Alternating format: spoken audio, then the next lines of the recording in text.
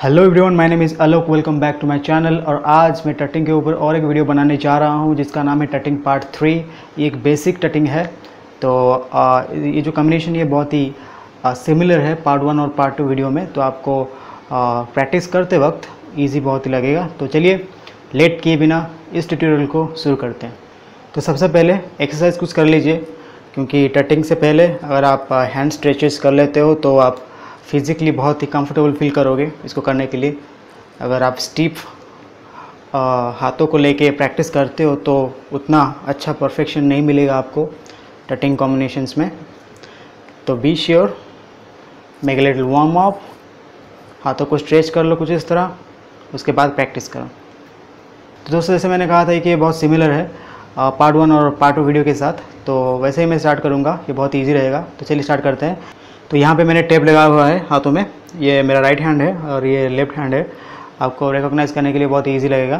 तो चलिए शुरू करते हैं प्रेइंग पोजीशन में। तो प्रेइंग पोजीशन से स्टार्ट करते हैं। पहले राइट हैंड जाएगा ऊपर, उसके बाद राइट हैंड डाउन उसके बाद राइट एल्बो डाउन यहाँ पे, कुछ इस तरह। यहाँ पे देखिए राइट एल्बो एल्बो डाउन हो रहा है। ठीक है? राइट एल्बो डाउन के बाद यहाँ लेफ़्ट एल्बो डाउन होगा। कुछ इस तरह। ठीक है? लेफ़्ट एल्बो डाउन के बाद राइट हैंड नीचे की तरफ़ स्लाइड करेगा, कुछ इस तरह। ठीक है? नीचे की तरफ़ स्लाइड हो गया, उसके बाद लेफ़्ट हैंड साइड की तरफ़ साइड स्लाइड करेगा, कुछ इस तरह। देखिए। ठीक है? उसके बाद लेफ़्ट हैंड कुछ इस तरह से अप होगा राइट हैंड के ऊपर, उसके बाद लेफ़्ट हैंड को ऊपर साइड स्लाइड होगा कुछ इस तरह।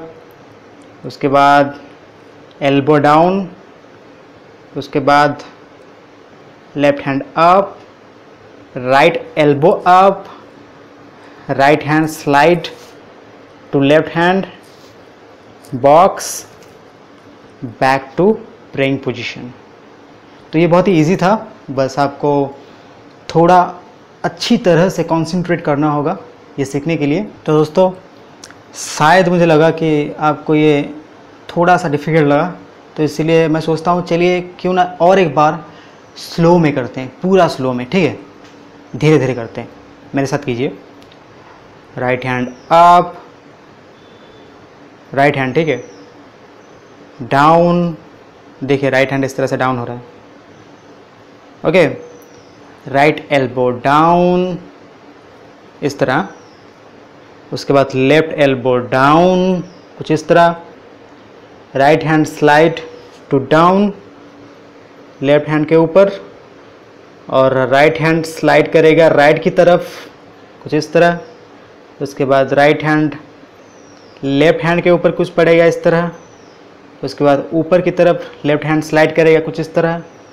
उसके बाद और एक बार लेफ़्ट हैंड, राइट हैंड के ऊपर पड़ेगा कुछ इस तरह। उसके बाद राइट पाल्म और हैंड को up, sorry, left hand up, right hand, right का एल्बो अप, स्लाइड इन, और एक बार बॉक्स बना लीजिए। Slide to the same position, come back to praying position.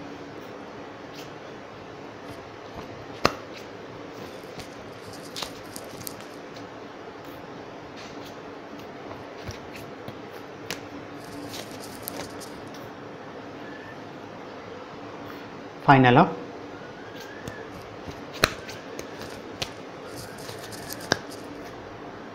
तो दोस्तों, इस वीडियो में बस इतना ही था आज के लिए, और मुझे लगता है कि ये वीडियो बहुत ही इजी लगा हो आपको सीखने के लिए।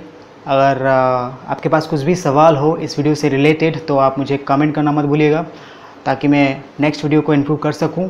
और ये बहुत ही इजी कॉम्बिनेशंस है, मैं बता रहा हूँ जो part one part two part three तो अगर आप इन सबको कंबाइन करके करते हो तो ये ऑब्वियसली एक इल्यूजन क्रिएट करता है। कुछ इस तरह देखिए।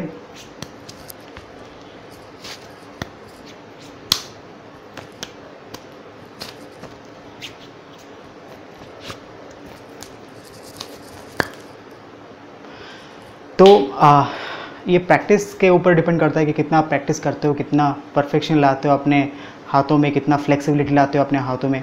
जितना ज़्यादा प्रैक्टिस करोगे, उतना परफेक्टली आप कर पाओगे ये स्टेप्स को, क्योंकि टटिंग एक बहुत बहुत ही बेस्ट डांस फॉर्म है। अगर आप ये इसमें मास्टर कर लेते हो तो आपको पपिंग और लॉकिंग करने में कुछ और कुछ भी प्रॉब्लम नहीं होगा।